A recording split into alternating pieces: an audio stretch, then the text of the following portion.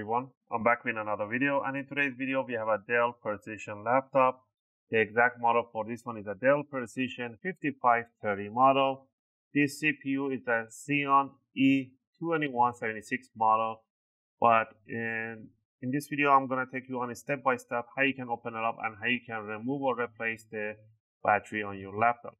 This applies for any Precision 5500 5000 series so it's pretty much the same so you can do this video under five minutes. It's really easy. And at the end of the video i will give you a tip how to keep your new battery on a top performance shape possible.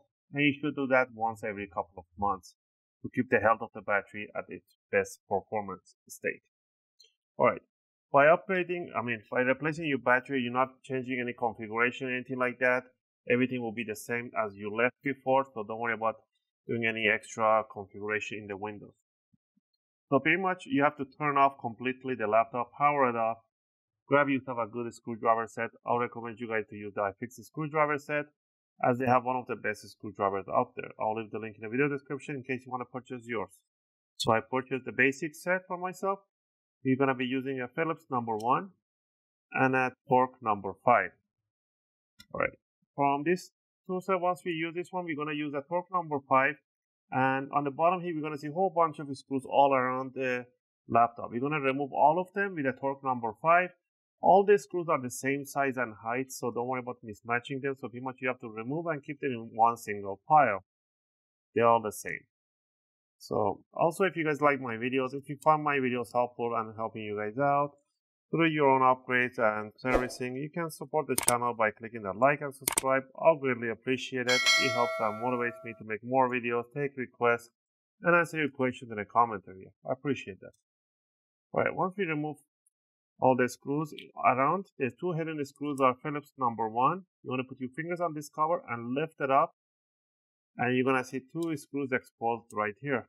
Remove these two screws. These are really long screws compared to the other ones. These are the same, both of them are the same. So remove these two, put your finger in there to pick up the screw. right there. Now the removing the bottom cover is very easy. You want to put your finger right on the under this cover here, and then put the other one and press on the hinge and lift it up just like that, and bring it upward. Right, and right away we can see the battery right in here. This is a 56 watt hour battery let me see the more info. 11.4 volt uh, made in china 11.4 volt. And the model it is really small in here. It says h5h20 so i tried to get the link for this one and i'll leave it in the video description for you guys to purchase. So we're gonna use phillips number one. We're gonna remove one two three four screws that touches the battery.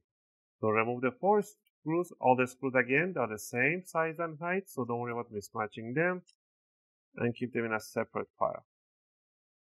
I'll put it right here on the tray. Alright, once you removed it, now you can lift up the battery, put it to an offset position like this. And now you want to pull this jack right here. I'll put my fingers on the side of the jack. You want to pull it back evenly. So you want to bring it like this, wiggle around. Don't pull it sideways, otherwise you're going to bend the pins inside. So that's how you can remove the battery. This is a one, two, three cell battery. So uh, you can see it on the cable here. There's a three, one, two, three, four. There's a four configuration cell. So they might have a stacked in battery that is stacked up. So one, two, three, four. I don't know how they have the configuration in here, but it's pretty light. It's not heavy like the other ones that they'll make. So I haven't found out any extra capacity batteries, but they might come up in the future with a higher capacity. Is a 56 watt hour. If I find a higher capacity, again, I will link it. Let's imagine that you got the new battery in. You want to make sure the connector, the red is facing towards the left and the black cables towards the right.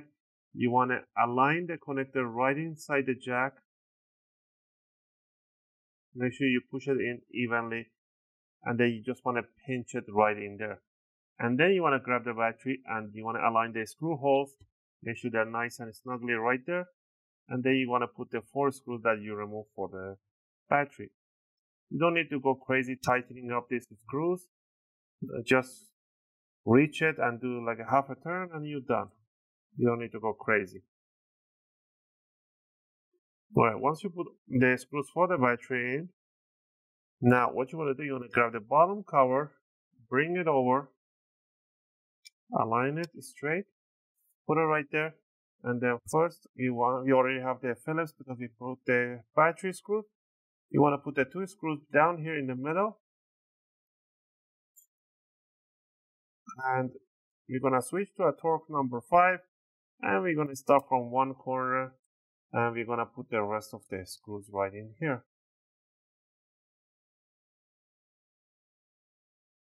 Alright, just remember once you put the new battery on the laptop, you do not want to power on the laptop right away. You want to leave it off. You want to connect the charger and leave it charging at least for 4 to 5 hours without powering it on. After 4 to 5 hours, you want to power on the laptop without the charger plugged in and bring down the brightness of the screen and to down to 50 or 20%, whatever lowest you can go. Not lowest, I'll say 30%, so you can see something at least. And then you want to drain the battery slowly with the brightness down. Put some YouTube videos. Don't put any heavy load or anything like that. So you can drain the battery slowly. Once the battery is drained down to 30 20%, then you want to power off the laptop. When it's off, you want to plug in the charger and you want to let it charge again for four to five hours. After four to five hours, then you can just power it on while it's connected and charge it as you wish and whenever it's convenient for you. You can do this discharge and charging once every couple of months to keep the health of the battery at its best performance state. Again, I hope you guys like this video and helped you guys out. If you have any question or request, feel free to leave them in the video comment. I'll try to answer them as soon as I can. As always, thanks for watching and I'll see you guys in my next video. I'll power on the laptop so you guys can see that it powers on. So I see the backlight is turning on. I can press F2 to go to the BIOS. And in the BIOS, you can click on the battery information and it will tell you battery health is excellent. So that's where you can check check the health of the battery inside the BIOS. You power on, you start tapping on F2. And that's it for today's video.